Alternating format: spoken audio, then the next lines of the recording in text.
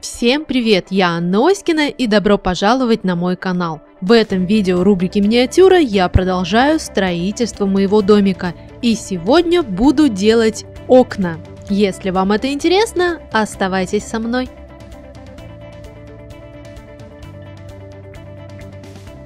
Для работы понадобится полимерная глина коричневых оттенков. Можно взять обрезки, оставшиеся от изготовления двери и добавить еще несколько коричневых цветов.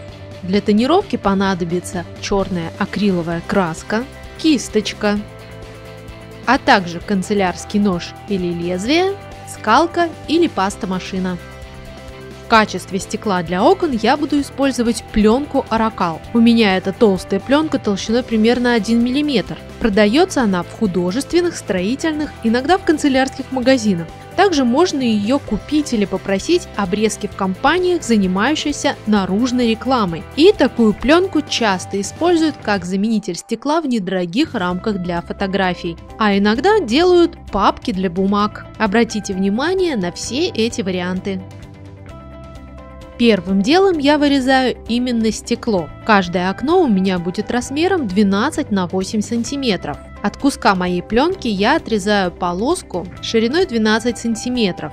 Ручкой я ставлю засечки и канцелярским ножом делаю прорезь. Так как пленка у меня достаточно толстая, с одного раза прорезать ее не получится, поэтому я делаю прорезь и сгибаю пленку. Она хрустнет и переломится пополам. Если она не доломалась окончательно, то уже помогаю, подрезаю лезвием. Теперь от этой полоски отрезаю два кусочка по 8 сантиметров для двух окон.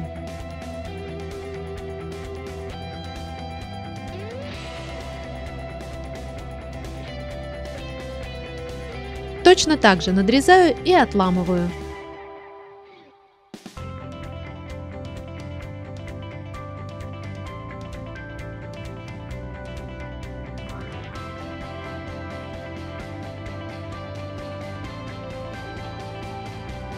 Конечно же, в процессе на этих стеклах можно случайно оставить отпечатки пальцев, поэтому перед тем, как вставлять их в рамы, необходимо хорошенечко их протереть. Переходим к деревянным рамам.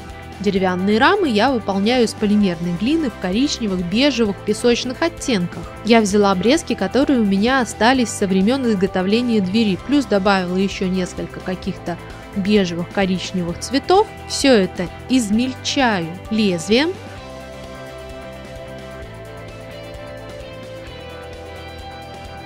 Перемешиваю и утрамбовываю в единый блок, единый цилиндр. Должна получиться толстая плотная сосиска.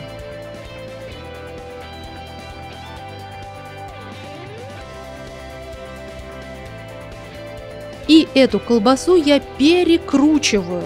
На ее поверхности получаются полоски.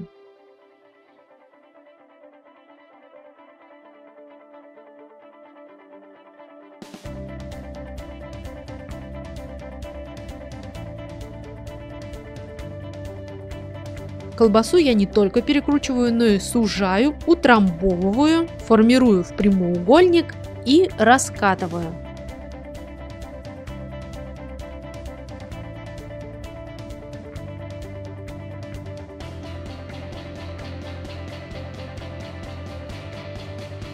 Так как эта колбаса достаточно большая, толстая, то нельзя ее сразу помещать в пастомашину, можно просто сломать инструмент, поэтому я раскатываю просто скалкой.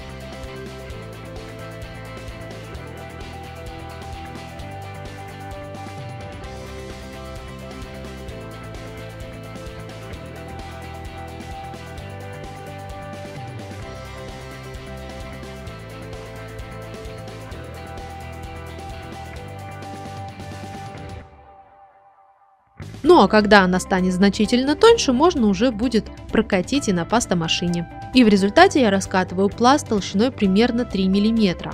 Рамы будут обрамлять окна с двух сторон, то есть всего нам нужно сделать 4 рамы. Я беру стекло и по стеклу обрезаю полимерную глину.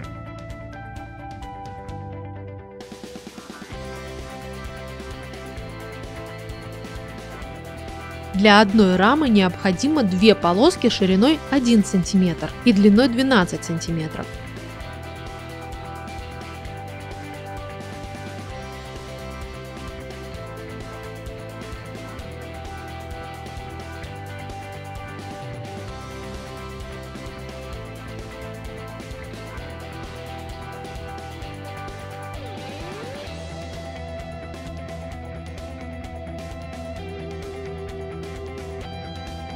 Также полоска шириной 5 мм и длиной 12 см и уже более короткие полоски для перегородок, которые я также отмеряю по стеклу.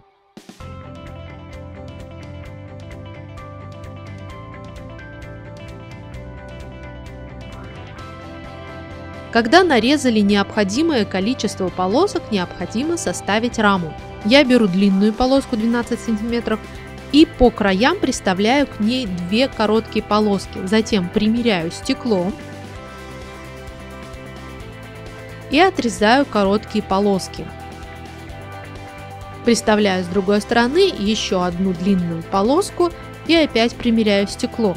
Это необходимо сделать один раз, а потом вы уже будете знать, как вы выстраиваете свою раму и действовать по одному принципу. В центре по длине рамы я располагаю длинную тонкую полоску. Где именно ее расположить, я отмеряю по линейке, прямо по центру.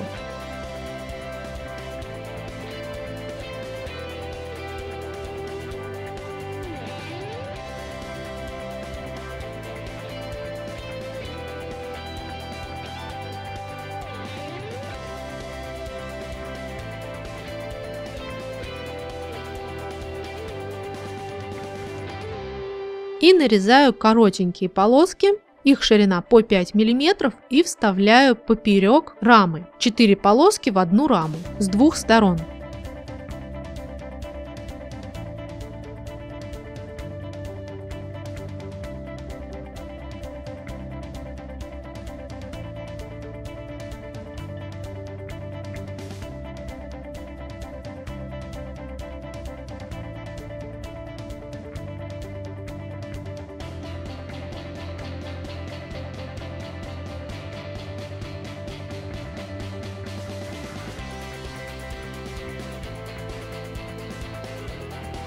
Теперь беру иголочку и аккуратно делаю узор, фактуру дерева на раме. Точно таким же образом, как выполняла фактуру дерева на двери, выполняю ее на раме.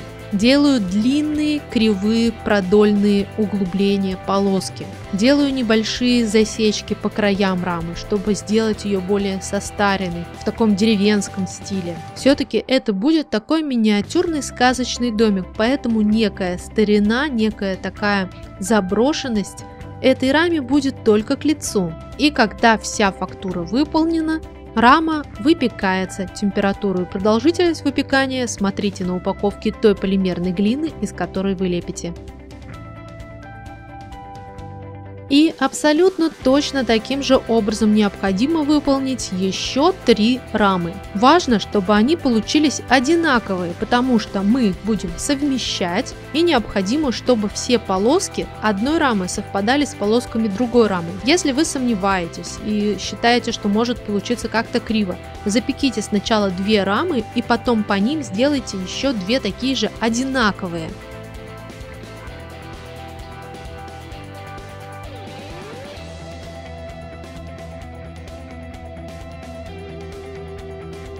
Итак, когда все четыре рамы готовы, приступаем к тонировке. Для одного окна нужны две рамы, поэтому я сразу две и обрабатываю. Беру черную акриловую краску и наношу на раму густую краску без воды. Прокрашиваю тщательно, чтобы краска затекла во все-все трещинки и углубления.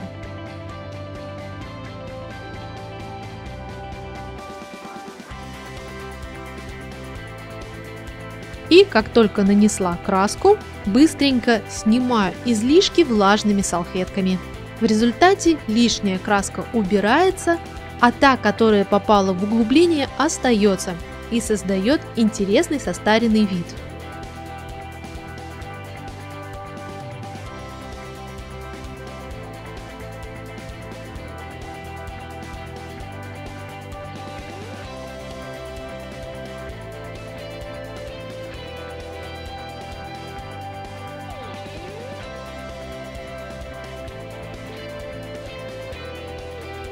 Абсолютно точно таким же образом выполняю и вторую раму, а затем и еще две.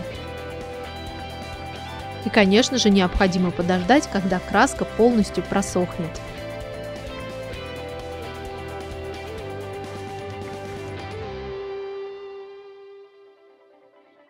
Когда все рамы готовы, краска полностью высохла, можно собирать окна. Естественно, пленку, которую я использую вместо стекла, нельзя выпекать. И рамы я выпекала без этой пленки.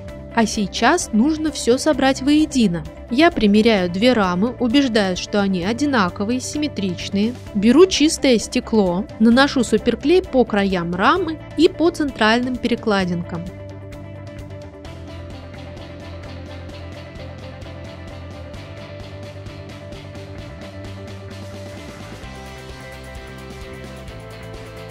Прикладываю стекло и сильно его придавливаю, чтобы оно приклеилось.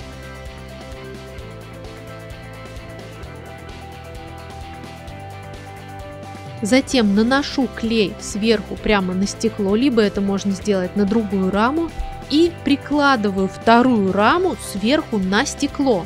Приклеиваю раму, тщательно прижимаю, чтобы все склеилось и стало единым целым, единым окном. Вот такое окно в результате получается. Абсолютно точно таким же образом я соединяю детали второго окна и получаю второе окно. Посмотрите, какие окна получились! Они выполнены в том же стиле, что и дверь, и прекрасно дополняют друг друга. В будущем эти окна будут вмонтированы в стены домика, и я обязательно покажу, как я это буду делать. Толстая пленка не мнется и похожа по своему эффекту на стекло. И поэтому можно считать, что в домике будут настоящие стеклянные окна. Я надеюсь, что вам понравился этот мастер-класс и понравилась эта идея, показанная мной. Следите за обновлениями моего канала, чтобы не пропустить и строительство самого домика и других деталей для него. Желаю вам творческих успехов и вдохновения!